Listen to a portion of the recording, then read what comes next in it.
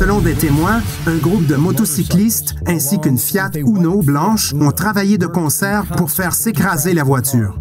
D'abord avec un flash de lumière aveuglant, suivi d'une explosion du pneu avant de la Mercedes.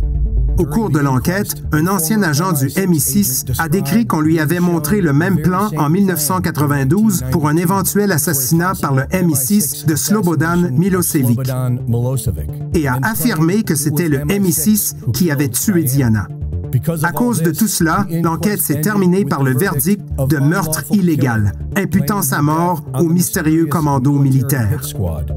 Mais les médias grand public ont tourné le tout pour donner l'impression que ce sont les paparazzis qui en étaient responsables, ce qui est manifestement faux.